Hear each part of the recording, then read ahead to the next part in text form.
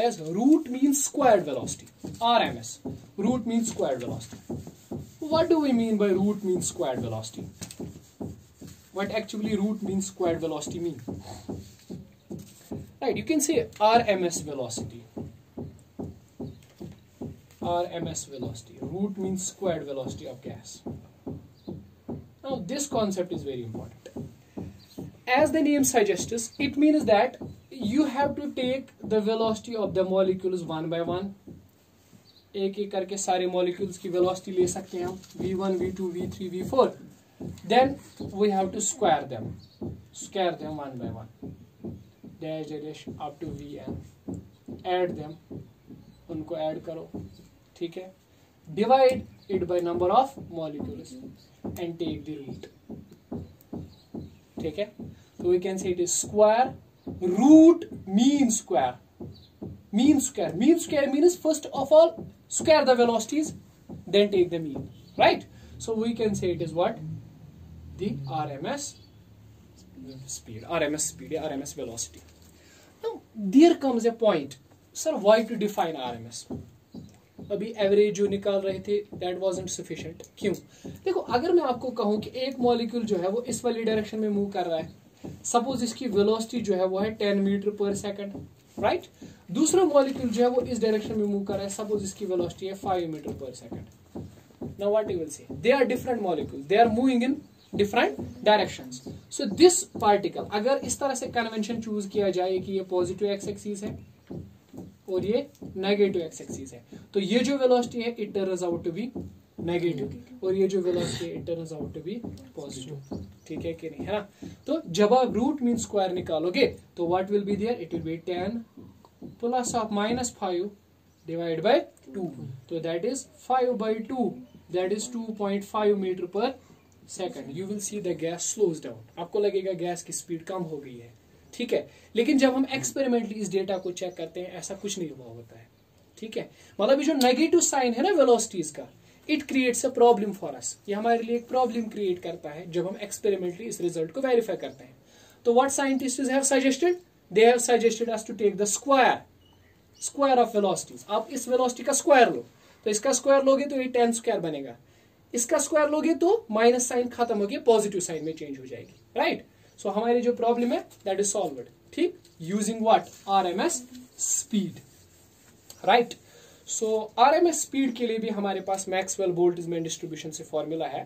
We can just put it here तो that is R M S is equal to V R M S is equal to under root of three times pressure divided by density P is the pressure of gas and rho is the density of gas remember rho is the density of gas this is in terms of pressure and density this is another formula we can write three R T by capital M not small M It is 3 R means universal gas constant, T means temperature, M means molecular mass, not that small mass, small m. It's not that. It is simply this one, capital M.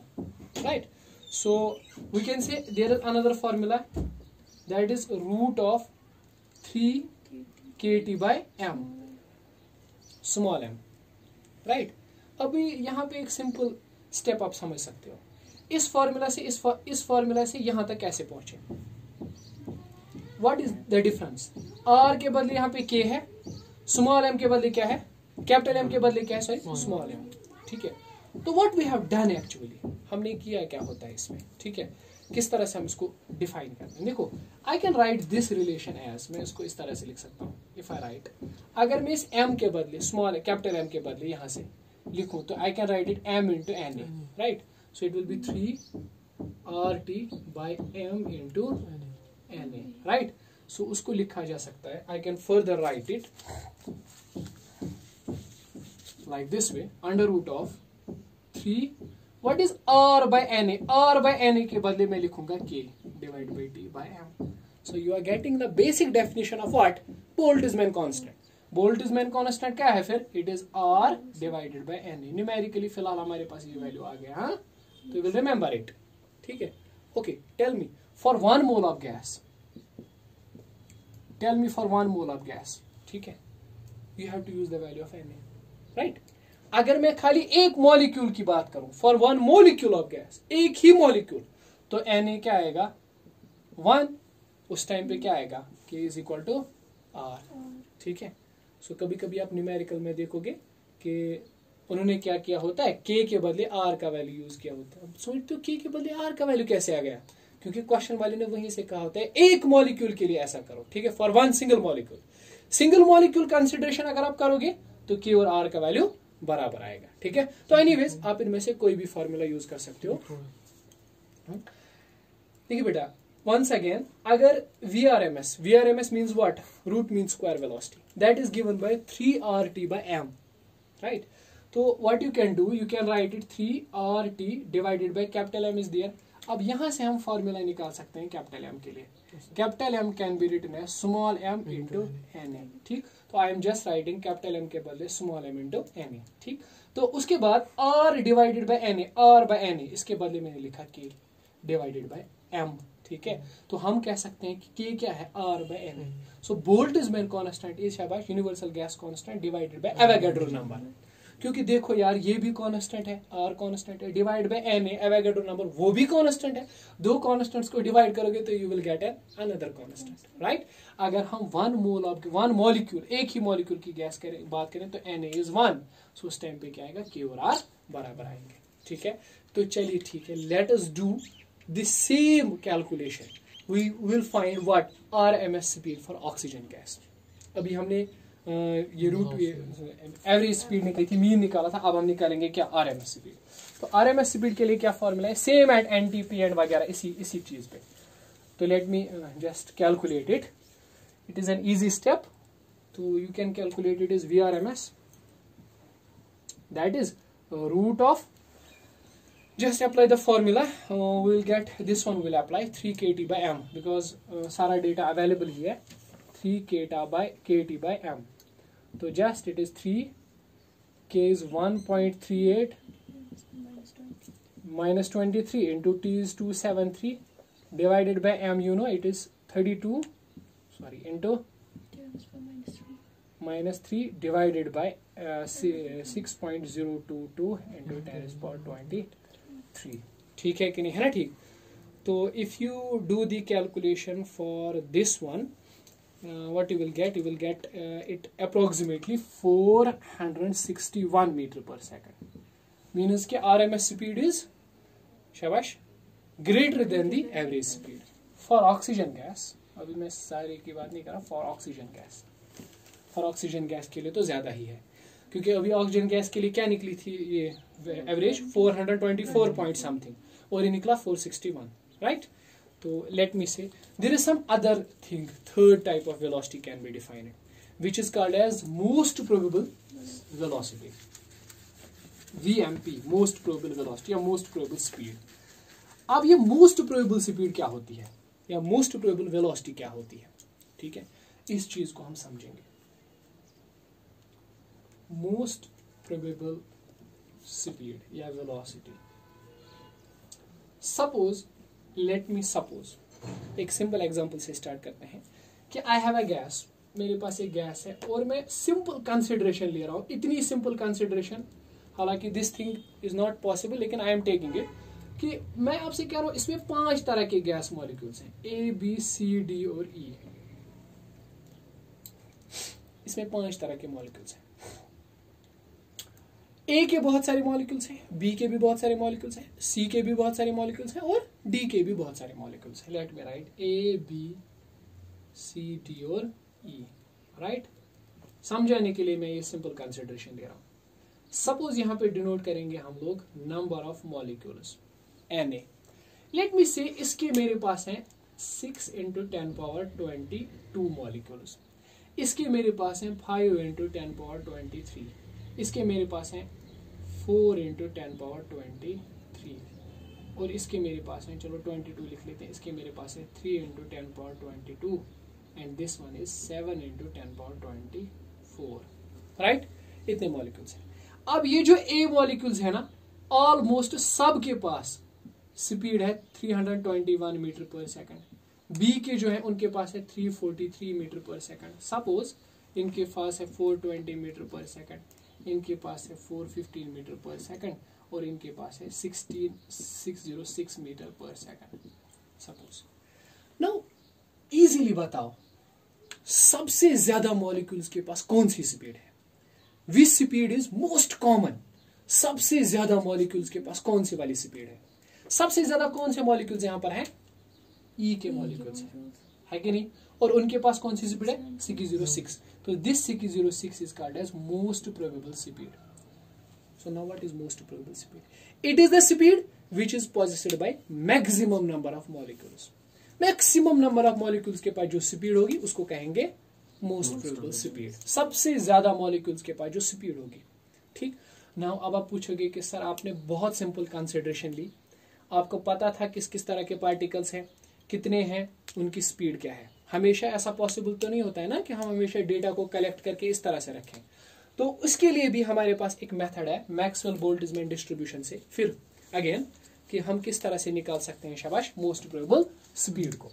तो कैसे निकाल सकते हैं? That is simply a formula will write it and हम इसको लिख सकते हैं। V M P is most probable speed that is root of two obviously root of two K T by M ठीक है? तो एम आपको पता है it is molecular mass divided by Avogadro number K is Boltzmann constant and T is temperature let's do the same result for oxygen gas at N T P जैसे हम अभी follow up कर रहे हैं. तो what is V M P that is root of two is there three a ten पर minus twenty three Temperature is 273 divided by mass is 32 into 10 to the power minus 3 divided by 6.022 into 10 power 20. 3 so you will say the most probable speed for the oxygen molecule at NTP is 376.4 meter per second right तो conclusion क्या निकला R M F speed is greater than average speed is greater than most probable speed ठीक है? Remember it by shortcut trick can say Ram R M Ram. ठीक which means that root mean square velocity is greater than the average velocity is greater than the most probable velocity right now there is something which we called as अगर हम इन तीनों speeds के लिए एक formula लिखें तीनों speeds के लिए फार्मूला मेंशन करें तो we can derive an important result हम एक इंपॉर्टेंट कंक्लूजन पे जा सकते हैं। सकते हैं, अगर हम यहाँ पे एक तीनों की फॉर्मूला मेंशन करें तो।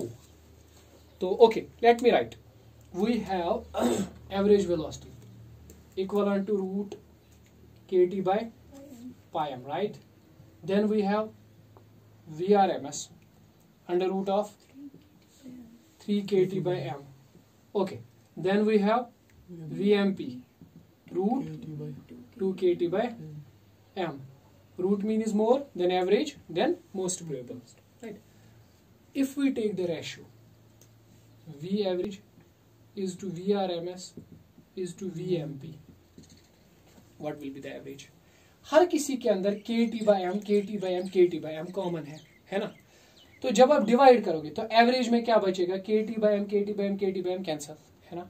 तो पहली वाली में बचेगा under root of eight by pi क्योंकि ये किसी के साथ कैंसिल नहीं हो जाएगा। है ना? दूसरे में क्या बचेगा? तो रूट थ्री तीसरे में क्या बचेगा? रूट टू राइट अब आप इस तरह से इन रिलेशन को लिख सकते हो. V divide by V R M P V R M S जरा बताओ एवरेज और आर एम एस के बीच में. खाली एवरेज और R M S under root of eight by pi divide by root three which mean that root of eight by three pi means यार अगर आपको एवरेज पता है आप आर एम एस निकाल सकते हो। आर एम एस पता है तो? एवरेज निकाल सकते हो ठीक है? तो V bar by V M P जरा बताओ इन तीन दोनों का। तो it is eight by pi root two तो that is root of if you know the average you can calculate the most probable and if you don't know the most probable you can calculate the average you can take third relation also they are quite easy but from entrance point of perspective, they are very important. So you can take VRMS to the VMP. That is VRMS VMP, that is root 3 by root 2. ठीक that is root 3 by 2 right so these three relations are so most important relations actually uh, you have to remember this one remember this one all ठीक all of them are followed from this huh? right Yes, sir. so you can just simplify your calculations huh?